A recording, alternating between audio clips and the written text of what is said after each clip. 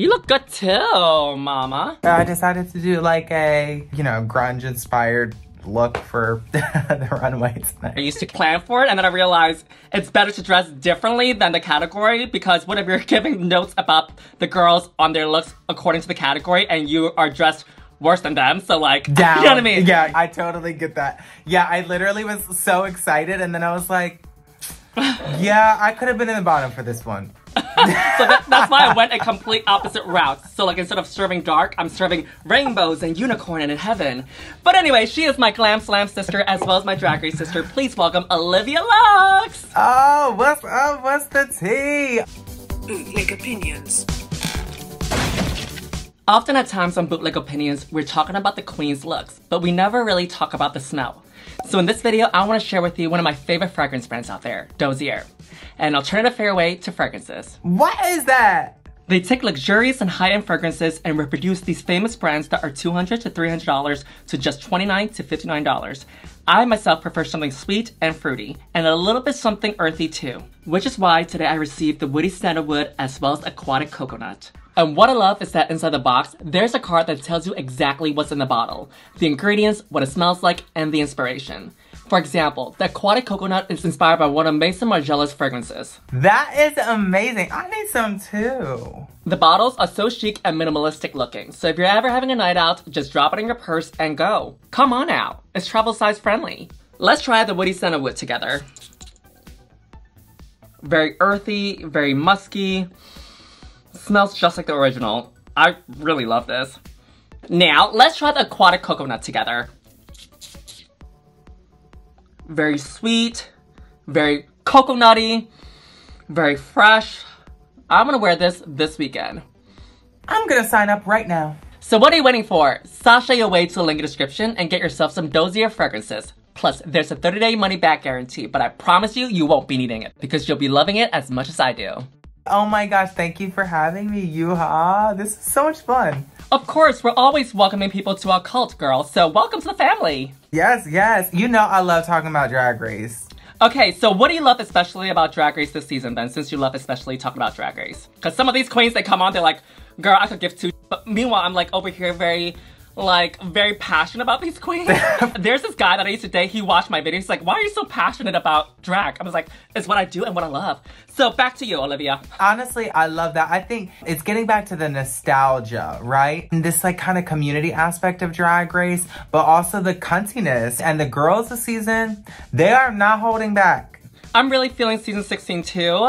Not just because of the nostalgia, because the fact that the, the there's less riggery so it's more fair. So for me as a viewer, when watching it, I'm like, okay, I agree. So it feels like it's taking me on a good journey. Does that make sense? And I do agree there's a great sense of community and sisterhood in this season, especially. And I think that with Drag Race, as each year it goes on since season probably 13, your season, right? Um, I hate to bring your season up because your season was the pandemic season. But I think that during this pandemic and afterwards, the queens are a little bit more of a sisterhood. They support each other more because there's just so much difficulties and obstacles outside of drag that we need to support each other.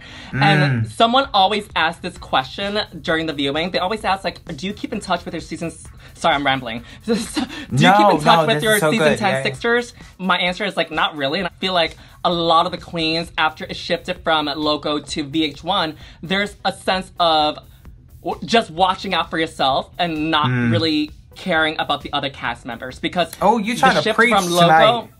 You yeah, I am. tonight, because if this drag shit does not work out, I'm working at a church as a reverend, okay? So it's shifted from logo to VH1. So I don't know if the experience is different for you or not, but like my season, everybody was out for blood for each other because it was a huge demand of who you are as an artist and as a public figure. So everybody was just out for themselves. But since season 13, as it goes on each year, the queens are getting tighter and tighter, and which is something I really love to see. Honestly, all tea no shade, I realized it has been like four years since I filmed.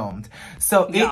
it, it, it it feels almost like a different generation now. Season It does. 16, these girls are not like the generation of girls that I I did my season with. Finally, you know, and I feel like we kind of wait for that moment, you know, where we weirdly enough where we graduated, right? So like Yeah. I feel like it has come to that point for me and I feel the shift. We all feel the shift of okay, it's very unexpected. Girls are coming in fully not produced, like self-produced because they're just like happy to showcase their authentic full self because right now we don't really know what is happening with with the commercial drag world.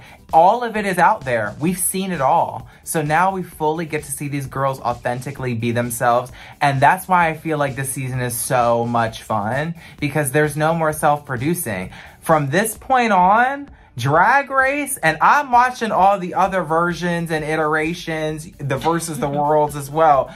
To piggyback off of what you were saying, I feel very passionately towards this season and these girls specifically because of that. So thank you, season 16, for bringing it back to what it kind of used to be and everybody that worked on it i'm i'm really enjoying it The majority of them are just happy to be there. For instance, Amanda Tori Meating, great example. Geneva Karr, another great example.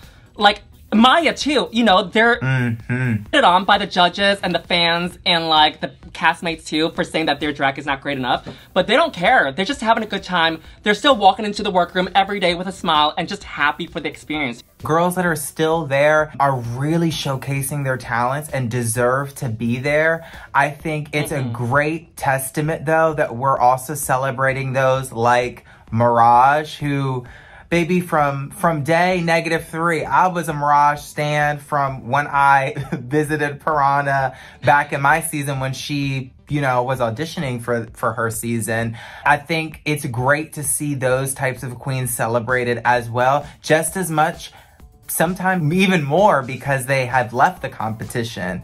I, I, I think we need to do more of that uplifting and like really taking a hold of the artistry and like why we all decided to do this to begin with is to have fun and to and to like relate to other people, you know? To be a community and to find ourselves in the art Of drag. of drag. But I love drag. Why would I be looking so good the way I am tonight if I didn't love this? sh- She's horny and she's looking for a man, that's why. Something with the producers or the cast members are doing really successfully this season is making us, the viewers, fall in love with them and growing on this journey with them too. Really great storylines this season. You have a really great point. You know, uh, when I was at the season 16 premiere party, which I saw you at, and we took really cute pictures, Which you did not Uh, reshare, but it's okay. which I couldn't find the. Fo- I didn't take those photos. Those were on your phone. Those were not my photos. I reshared it from another person that took it of us, so I tagged you because I was nice. I was like, okay, you know, me and Olivia were hanging out, and then you just clicked the heart button, and that was it. And that's fine. No, time you out. We were we were also with Vivacious. Our photos might be on her phone. Mm, got it. So you wanted to share the photo with me in it, but not with Vivacious in it. No, no. Wow, Olivia's preaching about love, and now she's all about being shady. I will pull up the receipts. You did not tag me in the photo with us. Let me pull up Olivia Lux and let me go to DM girl because this is about to get petty, honey. That's for the Patreon, baby. That's for the Patreon, baby. We about to give you some coins for that. I did tag you in this beautiful, gorgeous photo. Look at me and you. Oh wait, where's the photo at? Where's it? You didn't even tap a heart back. That's a video number oh, one. oh, actually, yeah, it's a video. It's, it started moving. but anyway, back to Drag Race. Who are you? Hmm. who, Interesting. Interesting. but back to Drag Race. Who are you rooting for on this season aside from Nymphia and Sapphira? Got it. Nobody else. Ah! Well, you goofed gagged and gutted me. You shouldn't have done that. Altino Shade Nymphia is a bitch mine. I live for her. And Sapphira is a former Miss Paradise, which is a pageant that I won right before my season of Drag Race. She actually just stepped down, and I was at that ceremony with um, Carson Kressley. Actually, he was a guest judge. Taking those two out of the running, I guess I would say Hershii LiqCour. Got it. So category for this runway is Goth, Punk, and Wednesday. What do you look for in this category? I'm looking for something that makes you want to be like, ooh, that could be on a runway somewhere because it's a design challenge. And I think I know a thing or two about design because I snatched the motherfucking crown on Glam Slam, which was You the did. Drag Race web series. And I went against you, and that was so much fun. We did. Did you know that it's now airing on VH1 too, the website, and MTV? But anyway, we first up have Q, who is serving this absolutely amazing, dramatic, out of this world silhouette. It reminds me of the Club Kid days, the 90s, very Leigh Bowery, which is something that Mimi Imfurst is known for. And the hair and the makeup artistry sold this look too. She lined the outfits, and lining the outfits gives it more of a surprise element when you're moving down the runway too, because you're not just seeing the raw edges, the hems, and also the inside of the fabric too. Adding an extra two to three yards of fabric really helps sell the look, and she did it beautifully over here. The silhouette is right. The mug is right. I love the differentiation with the choker into the makeup. I think that was a really great call because then you don't have to paint your whole body if you have that differentiation, right? She really did that with this look. I really like the black and white and to choose white as your base, that is the thing I was looking for, something different. Everyone chose these dark colors, and for her to go ahead and choose that white as the main focal point, and she rocked that. Yeah, I really do believe that a makeup change really helps connect the whole look together. Just imagine her doing her signature regular face. It wouldn't have as much of an impact as it does here. I completely agree. It's the details.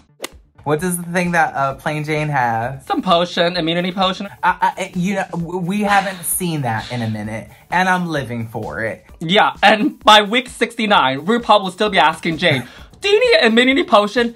No, mother, I'm not thirsty. Wait, time out. Plain Jane has a different answer every single time.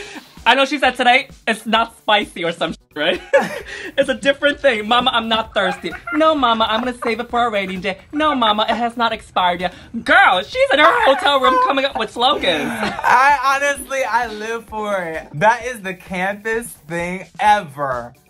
My girl Nymphia Wind, okay, she is really giving on this runway. I love the shuffle that she did. It really feels like it was intentional. I really love that reveal. I do agree with the judges. I think Michelle specifically said that the reveal didn't show enough of her face. I do think it kind of felt like a second thought to add that additional piece of fabric over the pre-existing headpiece that had the drapery because already it was so effective. Overall, I think this was a really great look, very fashion forward.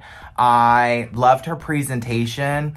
I am completely buying head to toe every last black tulle piece of this I do agree with you and the judges that her face was kind of missing too. What I would have done is a different color wig. I would have done blonde, red to contrast the colors a little bit because she is so swollen up with just black on top of black on top of black. The veil was kind of a last minute add in too. I would have just done the headdress and that's it. Or if she's gonna do the veil, have some flowers or something, pretend she's going to a funeral or, you know, a goth wedding.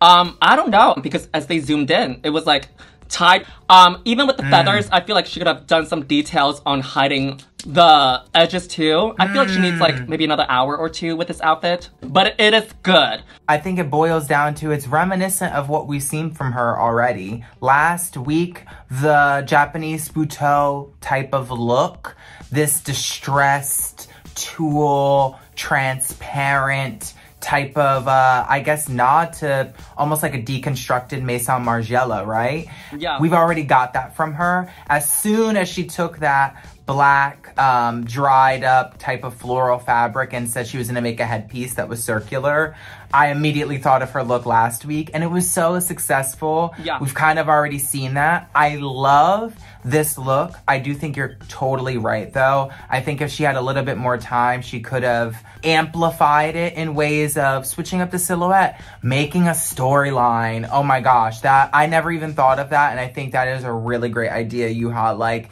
this would have been really effective if she had a storyline, but still, mm-hmm. I wouldn't say hit the bullseye, but like, you know, that little space between the bullseye and that next ring, baby, she hit there and it was still very, very good. Yeah, it's still really good nonetheless though. But imagine if another queen made this, it would have been applause, girl. Right. Mhi'ya. Honestly. Okay, next up is Dawn. I love this look. It's very fashion forward, something you kind of see on the runways too. And it had great movement when she was walking down the runway. And then she added the details of the pieces onto her hair to connect into the outfit. I love it. And the elf ears are back. Yay!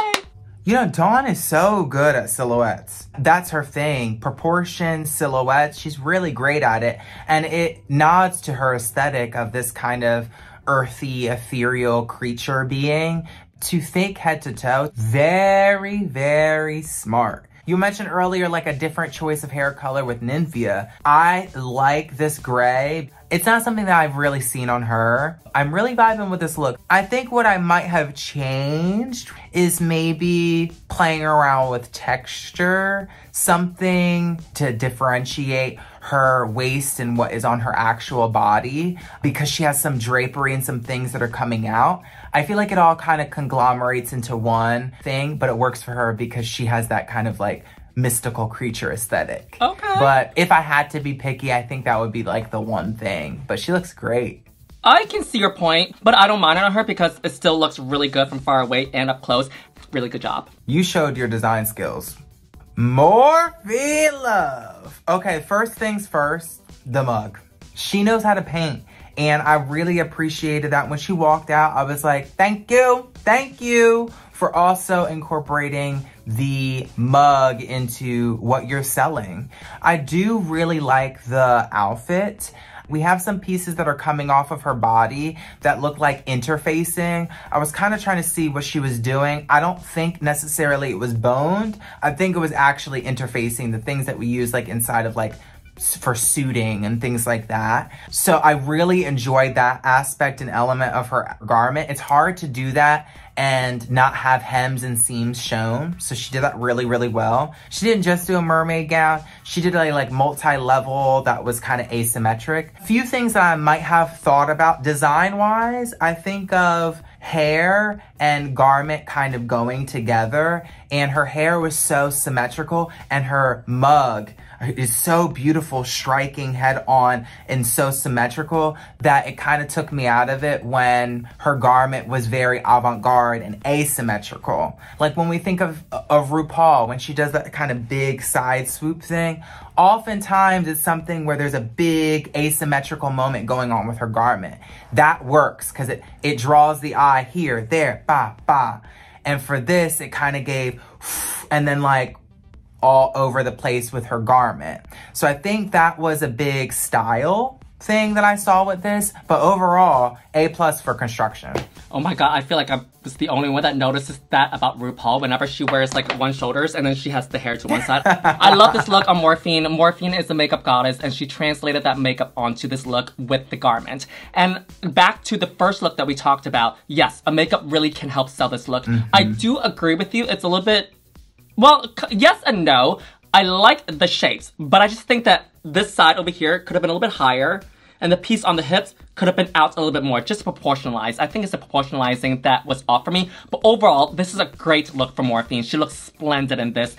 And that red lip, tell me what that is. Mm-hmm. Okay, so we have complimented all our queens. Next up is Plasma. And you know what this look is kind of giving me? It's giving me the MySpace days in a derogatory way. And you know, like some people think that they're punk and goth, but they're not really goth and punk. And this is what it's kind of giving me. Whoo, girl! This look was sad, I know. okay, so I knew that it was doomed from start. And I'll tell you why because when she had mentioned trying out different silhouettes and different things that she hasn't done before.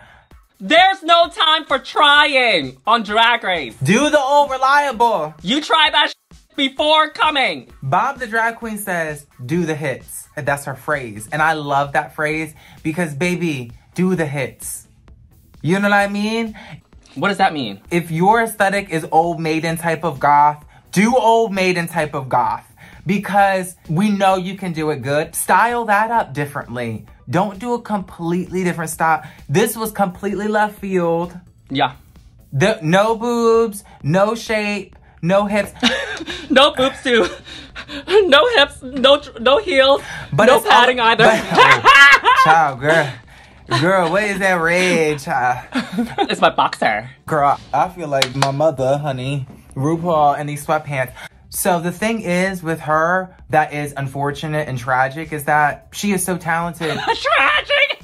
it feels like tragic, right? Like it feels like one of those moments where it's like, damn, when she came out, I was like, no, because it's not only that the execution was poor, the design was not great, and the overall serving of it all was not great. It's that we've seen so much greatness from her the entire season that it felt tragic. Yeah. Listen, my season, season 13, I made it to top five. You always think you gotta switch things up. Show the judges, you know, this is what the vulnerability the judges wanna see and all that stuff. Everybody's thinking about that. But my first instinct and my thought when I got there was, I don't wanna turn my back on my kind of go to uh, my weapons against all of that because it got me this far. And if Plasma's weapons against the entire competition are her musical theater ability and background and that old timey kind of vintage glamour, why turn your back on it? These are things that you've relied on, and the judges have not mentioned that they want to see something different from you yet. So why would you turn around and give them something that you're not familiar with? Because that's what they said. That was that was fully the critique is that it pulled you in a whole bunch of different directions. Right. It's because you don't have a reference point now. And I think that's what we're seeing here is that she didn't have a reference point. What I will say is I feel like if she went with uh, kind of her aesthetic and her references that she does know, I think it would have been more successful. Um, you did bring up something really important, and I think that clicked with me too. Is for her to do this category as her, because her type of drag, whenever I'm thinking about it, right, it's very tw- 1920s, it's very 1960s. It's inspired by a lot of old Hollywood vintage films, right? Classic films. If she comes out punk rock, but as like plasma, but as like someone from like the 60s or the 20s, Yeah. I would have bought it. if she would have done her vintage glamour, it would have stood out because nobody else gave that this week. I'm looking forward to seeing Plasma again. She is such a talented girly and she really slayed. Um, I don't know if this point in the program we able to say she's going. She but- slayed up till last week. Yeah. You know, we gotta give her her flowers. She, if I'm correct, she is a pandemic queen, so she started doing drag only during the pandemic, and it's only been two to three years only, and to have this great run on Drag Race, applause to that. And during the lip sync for Your Life, she didn't really give up either. She fought till the end. She was giving her all 100% from beginning till end. She did not give up on that stage. So, applause. Great run on this season, too. I mean, two wins, girl. She should be very, very proud of herself. Girl, Mhi'ya. Okay, I love that she used the little birds. Having something to rely on when the garment is not really giving what you needed to give was a great call for her. She just made some really not so great decisions, specifically around the shoulder area. It kind of feels cut off. The necklace then definitely chokes up the design and don't necessarily love the silhouette in general. The styling, the hair, the makeup. In a design challenge, there are things that are being marked. So it's not just the base garment, it's everything. You know, if she were to have done different jewelry, done an updo, maybe done a different type of makeup with another color lip, it might have made the garment a bit different. I'm not saying it would have saved her from the bottom, but I definitely think these are things that could have amplified this baby. It's a great base garment. How about this? It's a great base garment. We could add something else onto it. Could you imagine a patent leather like coat or trench coat type of situation along with this? Or even just sleeves, something to give it the ooh ah. I definitely think it needed more and she wasn't able to serve that. I don't think she was even able to serve this because she said, you know, Sapphira helped her with this. As a fellow black queen who loves to see other queens succeed and stuff, this was a hard one for me this week to see her struggle. If this was still earlier in the season, maybe this would have been a safe look because it's fine, it's safe, but compared to everyone on the stage, it's a little bit basic. And going back to what you said, Dawn was basically literally a dress, but the fact that she added those stuff circling around her hips made it more interesting, right? And even adding the head pieces, she needs more, maybe like a hat, a witch hat, something over here to extend the look from the body to the head so that it's a full look. Adding on, maybe some gloves would have helped too. Go grab a broom from the workroom or something so that it's not just you wearing a black dress, so that there's more of a story to you wearing a black dress. Why are you wearing the black dress? What are you serving? Why is Mhi'ya wearing this outfit in this category? Does that make sense? That's what I'm getting with this. I totally agree. For me, it's safe. But out of everyone, yeah, it's bottom two.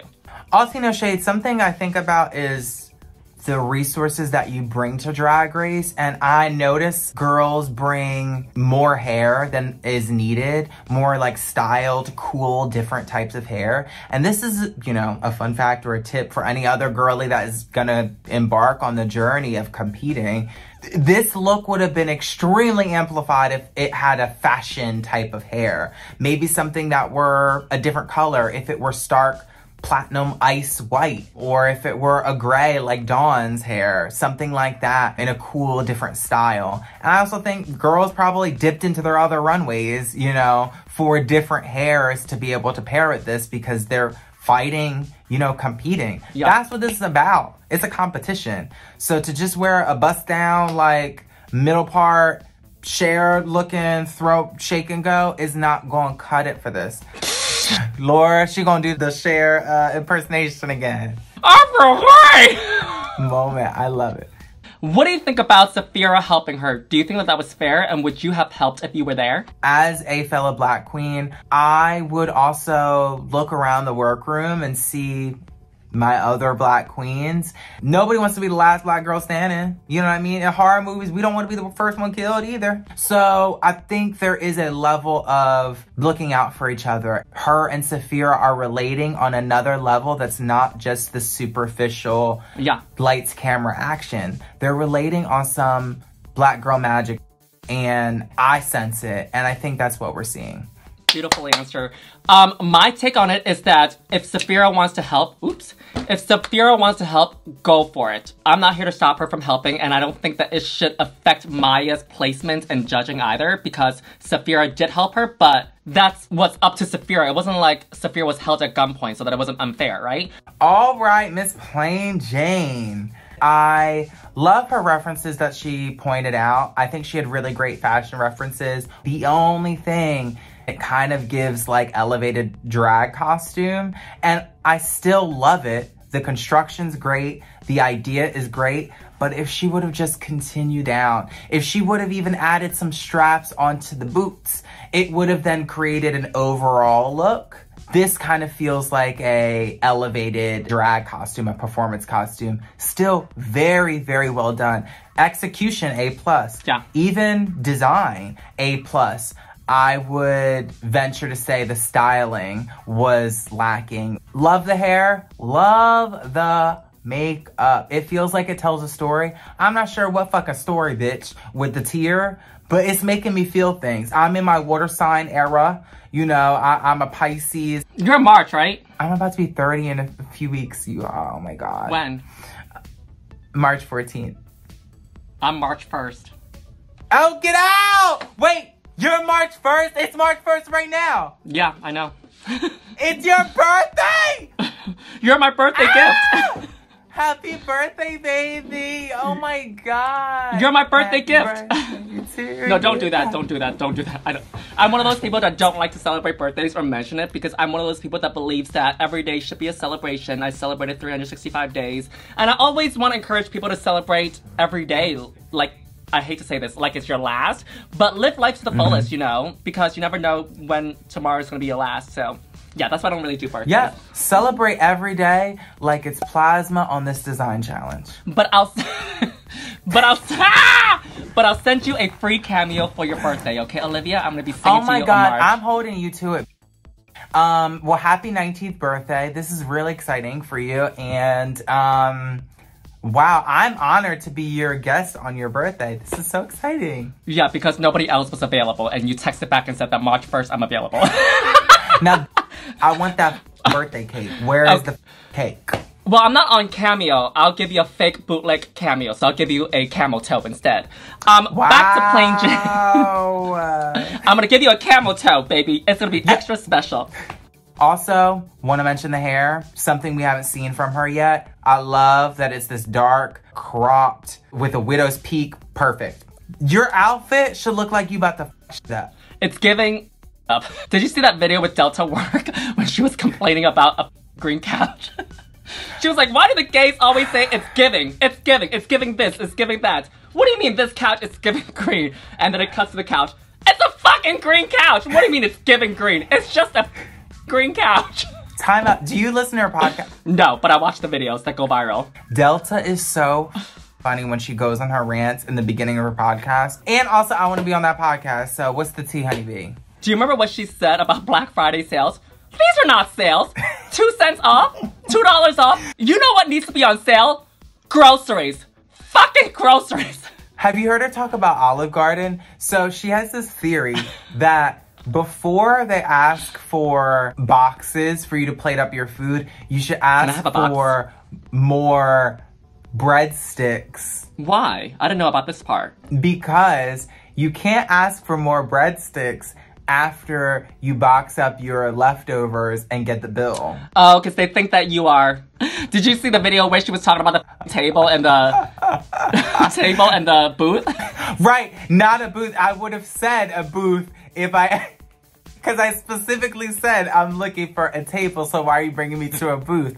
Honestly, she had a really great point. She really had a great point. This is the first look that came out on the runway, right? When I first saw it, I was like, oh, it's pretty good for a design challenge. I think what could have elevated this look to give us more of a story is maybe she's a dominatrix and then she takes some of the cut ups of the ribbons that she has used the bottom, tie it, make it like a whip or something, come out, you know, mm. slamming it on your hand. Something that gives me more than you're just wearing a black outfit. Why are you wearing the outfit? What are you doing in that black outfit? Take us to that setting an environment of you're in that you're wearing that outfit. Yeah. Last up is Sapphira Cristál's. The hair is teased out. It's giving crazy. It's giving punk. It's giving goth. I think it's a safe look for Sapphira. Is it the most exaggerated out there look that she could have created? Probably not, but it's safe. But I think that if she didn't help Mhi'ya, I think her look would have been better. Mm, You don't like it? She got away with murder with this one, but I'm gonna let it slide only because of her helping Mhi'ya. Yeah. It's a great fabric choice. It translates really well on camera.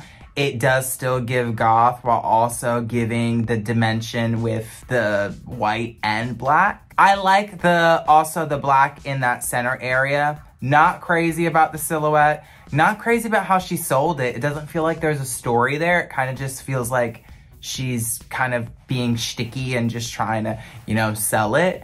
I just want to see better design and I know she's capable of it. And that's that's the thing that's kind of like throwing me off. And our favorite look is Q. Woo! Congratulations, Q. Yes, congrats, baby boo. Q has won a- a design challenge before and she's proving that she is one of the design girlies, period. Now, Olivia, thank you so much for stopping by to give us your official bootleg opinions. Thank you so much, baby. Oh, thank you for having me, Yuhua. You know I live for you. Happy birthday again. Happy early birthday to you, too. oh, thank you. Pisces girlies in the house, period. Emotional beings. Yes, problematic queens. Bye. I love you, Yuhua. Hey, squirrel friends, when one video ends, just click on another one. It's called cringe viewing. Go ahead, I support you.